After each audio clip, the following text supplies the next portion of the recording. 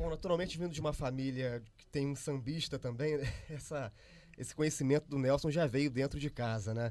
E depois ele se fortaleceu também por uma coincidência que sou um vascaíno fanático e ele também é. Isso ajudou também. Mas o clássico, né?